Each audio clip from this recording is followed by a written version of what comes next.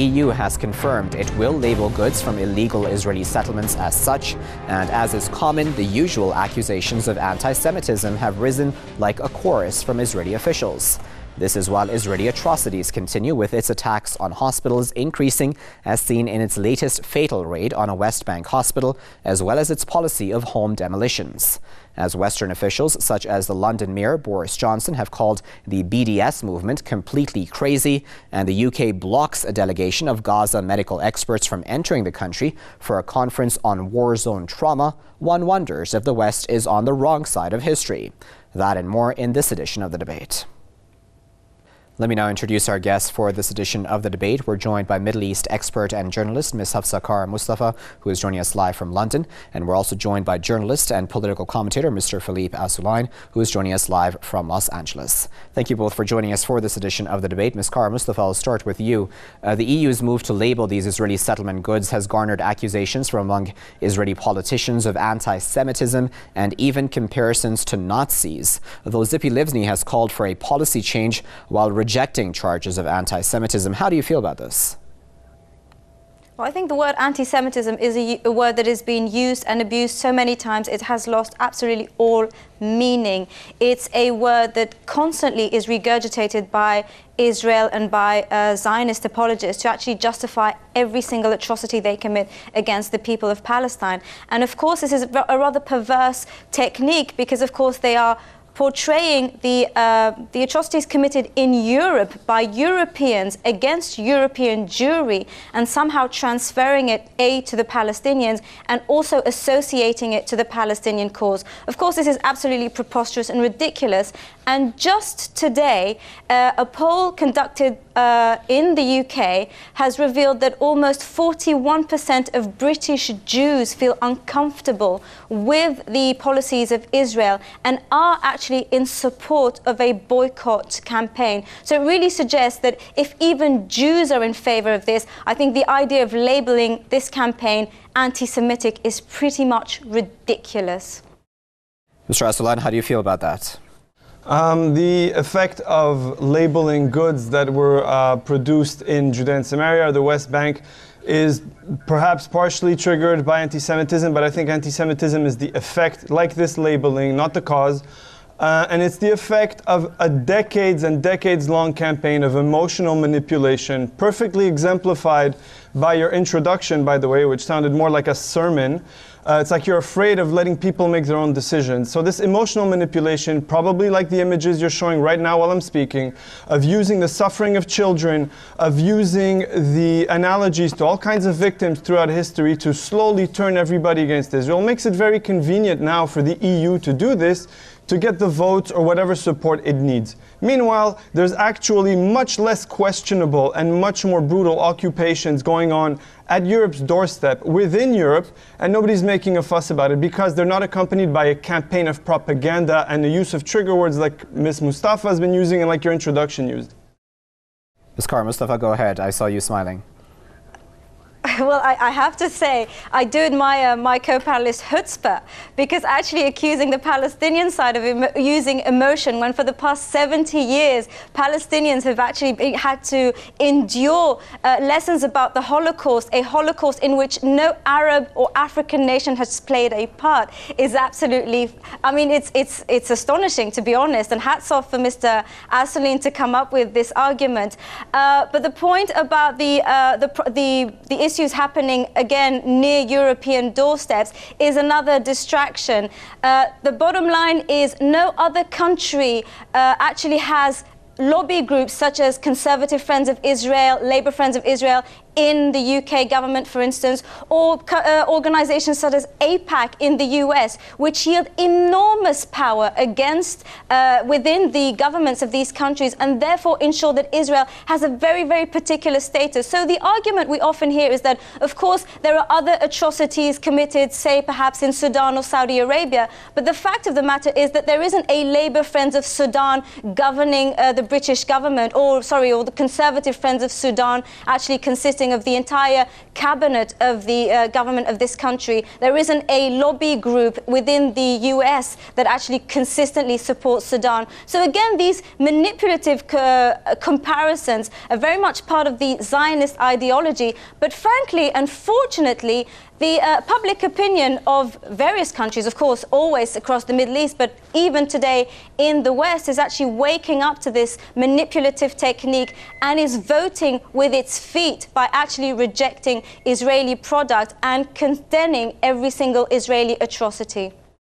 Mr. Arsalan, I'd of course like to get your reaction to what Ms. Kara Mustapha there said, but I also wanted to add this on and get your opinion on um, this uh, this raid of Israeli undercover forces on this hospital in the West Bank, which which resulted in the death of a Palestinian. Um, the Palestinian health minister said uh, that the execution of the Palestinian inside the hospital proved that Israel does not respect international conventions and international humanitarian treaties. How do you feel about that? Well, first of all, I want to respond to what was said uh, and basically throwing my argument back at me.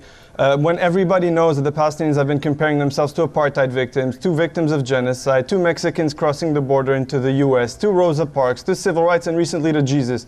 They're exploiting everybody's vulnerability. Actually, the anti Israel groups, a lot of them are not even Palestinian, they're exploiting everybody's vulnerability, just like she does by referring to Jewish conspiracies as if there's not a super rich Gulf Arab oil lobby in every country.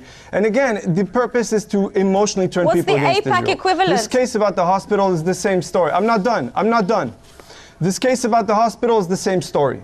Okay? Now, it's framed as such to make people believe or feel on a deep emotional level that Israel is going to come attack them in a hospital, when in fact the Palestinian Authority itself should have arrested this young man who decided to stab a middle aged Israeli for no reason in the neck with a hunting knife because he was taught some Takfiri, ISIS like nonsense on the internet. Now, Israel chose to send 20 soldiers there to arrest him and risk their lives instead of using a drone or an airplane strike the way Russia and Iran and the US and Europe are doing in Syria with Takfiris there who don't even threaten them. Hamas, by the way, has been using hospitals for at least 15 years to place its terrorism command centers, including in Gaza Shifa Hospital, and it's been using ambulances to transport bombs. But you don't feel it adequate to report that. Ms. Mustapha doesn't feel it adequate to pay attention to that. She's just going to come back with more words, atrocities, and other triggers like that that don't apply, making declarations about international law that she does not understand, just to make people feel like Israel's threatening them, when in fact Israel is here pr- uh, protecting innocent people. And sometimes that means you have to go arrest a terrorist in a hospital who should have been arrested by the Palestinian Authority.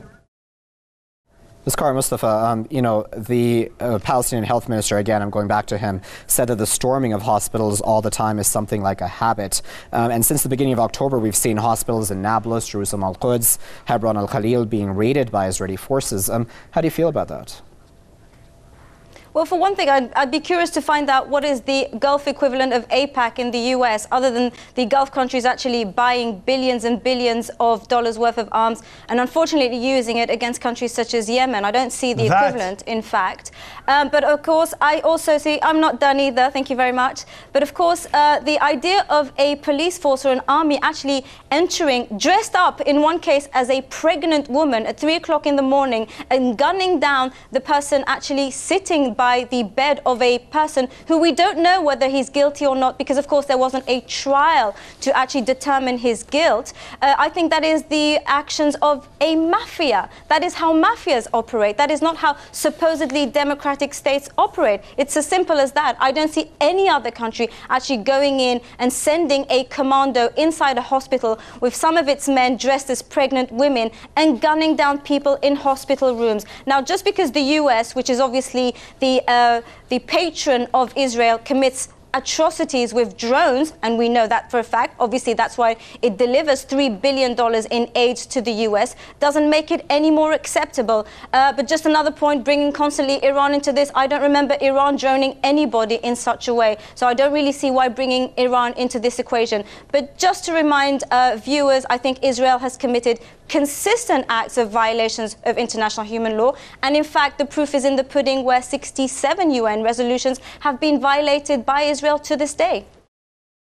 Mr. Aslan, of course, I want to get your reaction to that, and I wanted to add on, uh, if you allow me again, um, yes. a national board member of Jewish Voice for Peace has recently said, and I'm quoting him now, we believe that when Palestinians can freely elect their own government and negotiate on an equal basis with Israel, they will determine the best solution. BDS is a tactic to force Israel to the negotiating table, and it is slowly having an effect. How do you stress uh, the, how do you assess, pardon me, the strength and or lack of, of the BDS movement? So first thing, uh, I'm impressed that with Ms. Mustapha's sudden concern for trials when she's very ready to condemn Israel for all kinds of nonsense that she invented without a trial. The Israeli soldiers went in there calm to bring down, this Mr. young terrorist to trial. I'm not done. I'm not done. We've decided to let the other one speak, please. She's decided, Israel's decided to, to send 20 soldiers who have families to risk their lives to bring this young terrorist to trial instead of killing him via a drone like Russia is doing, and Russia is Iran's ally in Syria, as you know. Regarding BDS, BDS's stated purpose is anti-normalization. So don't tell me the purpose is to bring them to the negotiating table. Jewish Voices for Peace is a fig leaf for BDS and other groups that hate Israel. Look, Jews are on our side, like Ms. Mustapha used at the beginning. It makes it seem kosher to them and nobody else. Here's the reality. The Palestinians have rejected three offers that would have given them all the land they claim to want in the last 15 years. If you had a person in your neighborhood who was living off welfare, doing drugs, and living a destructive lifestyle, and rejected three offers of a job and an apartment in 15 years, would you call that person oppressed? Would you call that an atrocity? If there's an atrocity, is that that person is exploiting people's kindness to keep living like this. If you want to bring Palestinians to the negotiating table, which I really hope they will do, and if you want suffering to lessen on both sides, which I pray it will, you have to give them incentives to come negotiate and make compromises like both sides have to make. It's not going to happen if you keep giving moral cover to terrorists and are concerned with the welfare of terrorists in jail instead of their victims. Sorry, in hospitals instead of their victims. But Mr. Assouline, if, if I may push you on that point, um, when we talk about the BDS movement, um, Jewish Voice for Peace, again, is made up of a significant number of Jews. And as Ms. Kar Mustapha there cited earlier, um, there are studies which show that Jews abroad, outside of Israel, are feeling disconnected from Israel, some of them, that is. Um, isn't that showing that there is something wrong within Israel? It shows that propaganda has an effect. It shows that after 2,000 years of homelessness, a lot of people have post traumatic stress disorder oh. and are willing to do anything to feel safe. And it's the same, don't laugh when I'm talking, and it's the same equivalent of some black people uh, at the I'm end of slavery, or even with segregation. Some people at the end of slavery and the end of segregation were also uh, uh, shamefully in favor of slavery, black people, uh, had slaves, and some of them were, were opposing uh, desegregation. People who have suffered tend sometimes to take positions that uh, uh, perpetuate the suffering. Jewish Voice for Peace doesn't represent Jews, it's not their voice, and they're certainly not in favor of peace. They are a fig leaf to, to spin what is an anti Israel campaign based on lies and distortions of international law, which is BDS, as something that's based on human rights, which it demonstrably isn't. And Ms. Mustapha did the same shameful thing, justifying uh, anti-Israel hatred by pointing to a few Jews who want to fit into their societies who are tired of hearing propaganda against Israel. I could do the same thing with any group. Okay, you can find people who will justify persecution in any group. If I did that, I would be a bad person. And I think it's terrible that you are referring to fig leaf groups to justify what the vast majority of Jews oppose. Okay, Ms. Kar Mustapha, okay. how do you feel about Can the BDS Can I have movement? a word now?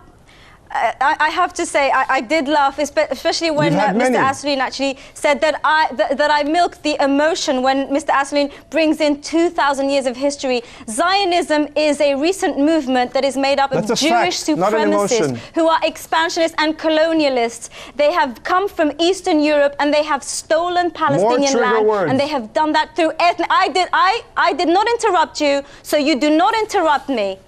You're free you to laugh actually. if you want, because you I found actually. what you said very laughable, but do not interrupt me. And so Israel, Zionism is a Jewish supremacist ideology that was created in Eastern Europe and made up of colonialist supremacists who went into Palestine and invaded the land that wasn't theirs and actually, actually committed ethnic cleansing. So the idea of bringing in emotion and bringing in 2,000 years of history and comparing black slavery to a group that is made of supremacists who oppress oppressed the population of Palestine for the best part of 70 years is utterly shameful. But again, not surprising. Now, speaking, now how many groups are fig leaf groups? You have the Neturei Karta, you have the uh, Jews for Peace, you have the, you have countless, you have countless groups made up of Jews who are actually sickened to the death by what Israel is doing and what by people are saying that it is done in the name of the Jewish faith. I think the whole of the world is waking up to the atrocities committed by Israel,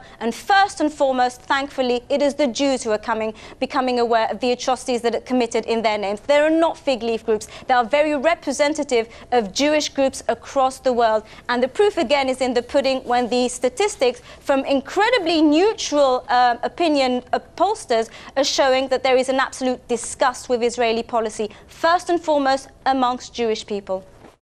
Um, Mr. Esterline, uh, as I'd far like as being aware, um, I wanted to ask you about this uh, recent statement that a joint list MK, Mr. Ahmed Tibi, made. Um, he's accused the current Israeli administration of being so extreme that, in his words, quote, Netanyahu is the moderate, end quote. Um, Netanyahu himself, in the run up to his re election, very clearly said that um, he would never allow for an independent Palestinian state um, under his rule. So, um, when you talk about peace, how are we to come to terms with that?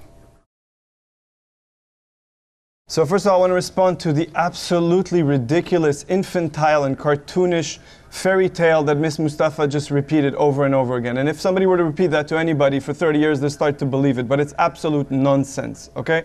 Now, fortunately or unfortunately for her, Chief Rabbi uh, Mustapha, who's decided what Judaism and Zionism means, is in bad company because I'm not an Eastern European Jew. My parents are refugees from an Arab country, and they've always been Zionists, and so I'm have sure. been their ancestors since the dawn of Judaism. The first lines in the Bible that Jews believed uh, uh, 3,000 years ago or 2,000 years ago was to Abraham to go to Zion. Now, I'm not a religious person, but that corresponds to also 3,000 years of history. So to say that Zionism has been invented in Eastern Europe is just very convenient. Also, I find it despicable to sort the good Jews and the bad Jews. The good Jews are the Jews who agree with her. The bad Jews are all the other Jews who actually want to be equal to everybody else and claim a little bit of space in their ancient homeland in the Middle East. Now, regarding peace, again, the Palestinians have been offered peace three times. They've rejected statehood, them and Arab leaders, six or seven times in history. There is no other example of this in human history.